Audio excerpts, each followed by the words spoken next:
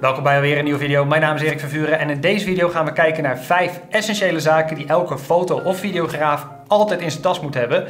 En daarbij komt ook nog eens een keer dat we één van die vijf onderdelen gaan weggeven aan jullie.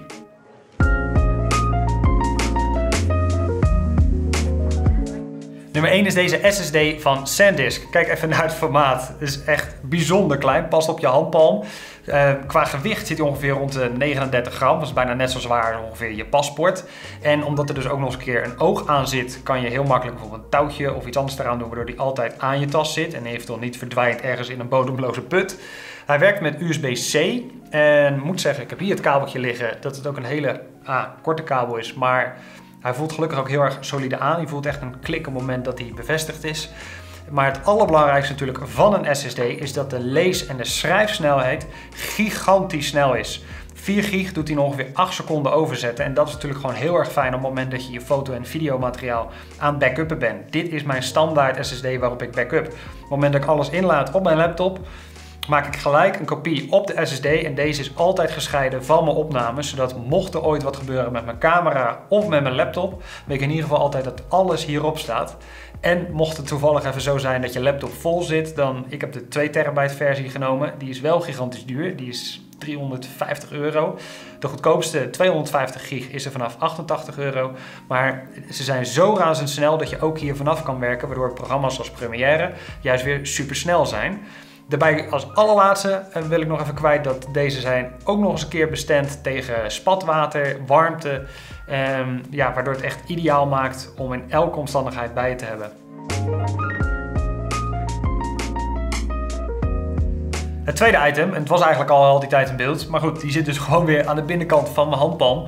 Uh, dat zijn de Rolfstone Neo oordopjes. Ik weet het, het klinkt niet heel erg bekend. Het is ook pas het tweede product van Rolfstone. Dat is een Nederlands bedrijf. Het wordt weliswaar in China gemaakt, maar goed, het is een Nederlands bedrijf. En als je alleen nog kijkt naar de oplaadcase van die oordopjes, want hier zitten ze in. Ja, de eerste keer toen ik hem binnenkreeg, stond ik er ook redelijk versteld van. Ik heb ze ook opgestuurd gekregen van Rolstone. Dat ze zeiden van, joh, kijk eens wat je ervan vindt. En we zijn heel benieuwd naar je mening. Ik heb er dus niet voor betaald. En ik krijg er ook niet voor betaald om dit dus nu aan te prijzen. Ik heb ze nu een maand lang gebruikt tijdens mijn vakantie ook in Aruba. Daar heb ik ook nog een video gemaakt. Als je die wil zien, moet je even hier drukken. En laten we even beginnen dat ik ben niet het type die normaal gesproken in-ear oordopjes koopt. Ik hoor namelijk bij die 10% van de bevolking waarbij die dingen nooit normaal blijven zitten. Ik doe ze in en dan binnen 5 seconden liggen ze er weer uit. Ondanks dat die geleverd wordt met verstelbare oordopjes. Of in ieder geval die pluggetjes waardoor je uh, het makkelijker zou moeten maken om te blijven zitten. Uh, ik gebruik standaard de Beats Pro Hupplepup van die sportdingen. Terwijl sportief is het laatste wat ik ben. Maar juist omdat ze over zijn, weet ik in ieder geval zeker dat ze bij mij altijd blijven zitten. Maar ja, um, die zijn ook gelijk drie, vier keer zo duur. En als we ook even kijken naar het formaat. Ja, dit doe je niet in je broekzak. En als je het doet, dan uh, denken mensen eerder van... joh, ben je blij om het te zien? Of uh, zijn dat je koptelefoontjes? En vandaar dat je dit natuurlijk tien keer makkelijker meeneemt. De geluidskwaliteit is ook nog eens een keer heel erg goed. Gewoon een mooie diepe bas, niet te zwaar en gewoon ook mooie hoge tonen. De case is ook nog eens een keer magnetisch. Dus op het moment dat je ze eruit haalt en je hebt ze gebruikt en je wil ze er terug in doen, ook al doe maar een klein beetje tegenaan houden, hij trekt ze er gelijk in. Dus dat is in ieder geval heel erg fijn. Je kan meer dan 30 uur luisteren op een enkele lading. En daarbij natuurlijk kan je de case opladen, waardoor als ze leeg zijn, kan je ze weer in de case doen, waardoor ze ja, weer nog langer meegaan. En wat helemaal bijzonder is, is dat deze gewoon te koop zijn voor 99 euro. En dat is wel echt bijzonder. Wat ik zei, mijn Beats Pro en alle andere Apple AirPod Pro dingen, die zitten makkelijk gewoon over de 2,5, 300 euro.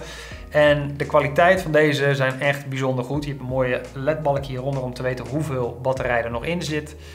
Dus je hebt weliswaar geen schuifjes waarop je kan zien of drukken op het moment dat je bijvoorbeeld een volgend nummer wilt. Alles gebeurt met een enkele drukknop, waardoor je dus bijvoorbeeld een telefoontje kan aannemen, die trouwens ook um, met Active Noise Cancelling werken. Twee keer drukken doe je bijvoorbeeld weer het volgende nummer of het vorige nummer. Nou ja, ga zo maar door. Maar ik ben heel erg onder de indruk van een uh, Nederlands product wat zo klein, zo krachtig en toch zo betaalbaar is.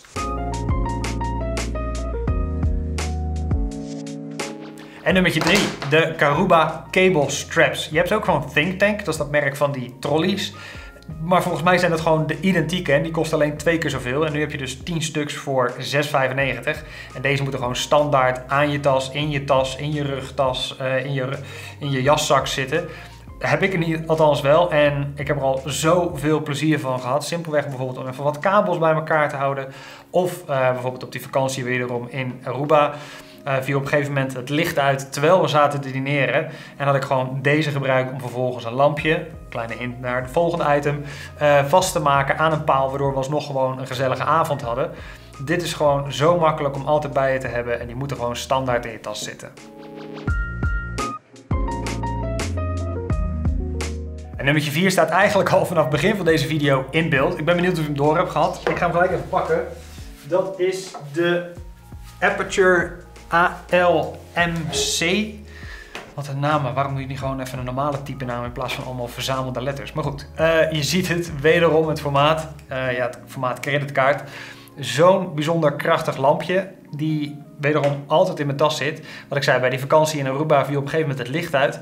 Had ik dit lampje bij me en er zitten verschillende voorinstellingen bij. Bijvoorbeeld zoiets als een politieauto, uh, vuurwerk, maar dus ook bijvoorbeeld een open haardsetting. Nou, die had ik dus aangezet en vervolgens gewoon dus vastgemaakt met die cable straps aan een paal, waardoor we gewoon nog heel de avond gezellig hebben kunnen dineren. Op vol vermogen doet hij namelijk anderhalf uur. Mocht hij leeg zijn, kan je hem daarna weer met USB-C opladen of zelfs draadloos. Je ziet het al aan de achterkant heb je ehm, een beetje metaal zitten. Dat komt omdat hij ook nog eens een keer magnetisch is. Dus stel dat je niet de bevestiging van de onderkant wil gebruiken, dan kan je hem gewoon lekker ergens tegen iets magnetisch gewoon ophangen. Daarbij zijn de kleuren traploos instelbaar van 3200 tot 6500 graden Kelvin. En je hebt ook nog eens een keer een eigen app waardoor je nog meer kleurencombinaties kan maken. Er zit zelfs een functie bij waarop je een kleur kan nabootsen door middel van de camera. Kan je zeggen van joh, ik wil die kleur op de muur, die wil dat je exacte kleur gaat weergeven uh, op het lampje. En daarbij komt hij dan ook nog eens een keer in een mooi tasje uh, met een mooie haak eraan. Die eventueel ook weer kan gebruiken natuurlijk voor die SanDisk SSD. Maar goed, dat terzijde. En een mooi soort van softboxje. Dus stel dat je hem gebruikt als een soort van daglichtje, bijvoorbeeld in een auto of bij nou, wat dan ook waar het licht ietsje zachter moet zijn, dan kan je er gewoon weer mooi omheen doen, waardoor het licht net weer wat zachter wordt. En het lampje is verbazingwekkend genoeg, maar 119 euro. En nummer 5 is de Leatherman. Ik was normaal gesproken ook weer dat type die heel irritant stond te bietsen bij iedereen om 5 cent. Om vervolgens het statiefplaatje onderaan de camera vast te draaien. En toen besefte ik wel van oké, nou heb ik wel gewoon een keertje echt een Leatherman nodig. Je hebt ze echt van allerlei soorten klasses en prijzen.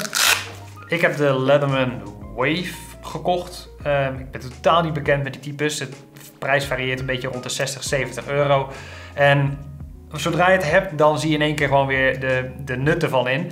Je hebt een fijne band aan de achterkant van het zakje, waardoor je hem altijd aan je riem kan hangen. En daardoor heb je gewoon echt altijd ja, een multitool voor handen. Gewoon een knijptang, maar ook een mes, eh, schroevendraaier, eh, een schaartje, echt alles wat je nodig hebt om gewoon, als je ook maar enigszins iets met productie doet en op locatie zou je altijd wel ergens tegenaan komen, of het nou inderdaad een statiefplaatje is van een camera of iets met een kaartje van een kleding wat er net even niet af wil komen. Dit wordt gewoon even aan je broek te hangen en dan wordt iedereen op de productieset in ieder geval heel erg blij met je. Gaan we gelijk door naar de giveaway. Ik ben benieuwd of jullie door hadden welke van deze vijf producten. Uh, dat is namelijk die Rolfstone Neo, de oordopjes. Ik heb ze hier nog netjes in plastic, dus ik heb ze niet in mijn eigen oren gehad. Die ga ik aan één van jullie weggeven. Wat je moet doen, sowieso natuurlijk geabonneerd zijn op dit kanaal. Ook even volgen op Instagram. De links staan in de beschrijving van deze video.